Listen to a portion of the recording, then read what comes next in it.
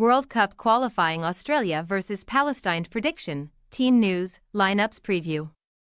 Australia and Palestine, who have both already qualified for round 3 of the Asian FIFA World Cup qualifiers, are set to match up in the final game in Group I.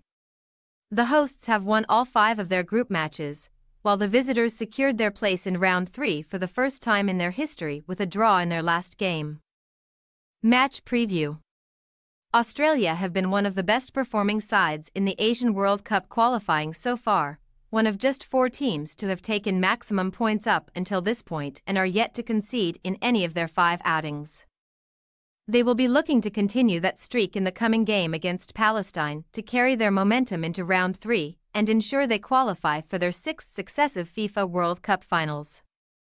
Graham Arnold's side have only lost on one occasion in the last 12 matches, falling to a 2-1 defeat in extra time against South Korea in the quarterfinals of the Asian Cup, while they last lost in normal time against England in October. The hosts have beaten Palestine in each of the last two meetings, including a narrow 1-0 win in the reverse fixture, and have now gone over a year unbeaten when playing at home. Leaving them with plenty of confidence ahead of this one. Their opponents will also be coming into this one in good spirits following a series of history-making achievements in an extremely emotional year for their country. Palestine had already created history earlier this year when they made a first ever appearance in the knockout rounds of the Asian Cup, where they were defeated in the round of 16 by eventual winners and hosts Qatar.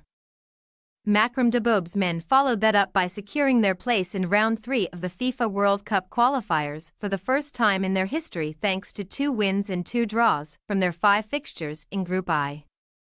They went into their game against Lebanon needing only a draw to progress, and they got exactly what they desired as the game finished 0-0 after 90 minutes. Team News Australia may be without Ajdin Hrustic for this game after the midfielder was forced off early in the first half of their 2-0 win against Bangladesh due to an injury.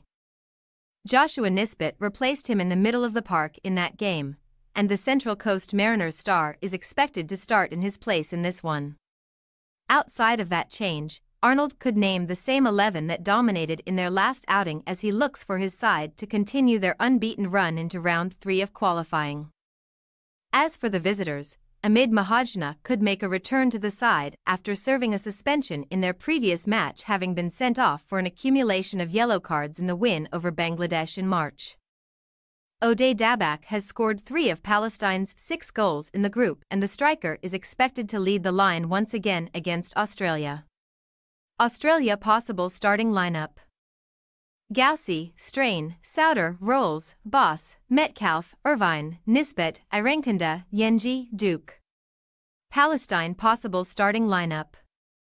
Hamada, Al-Battat, Termanini, Mahajna, Khalil, Seyam.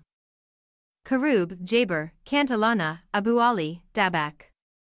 We say, Australia 1-0 Palestine. Palestine gave Australia a tough time in the last meeting between the two with Arnold's side narrowly winning that game. And we expect this match will play out in a similar fashion.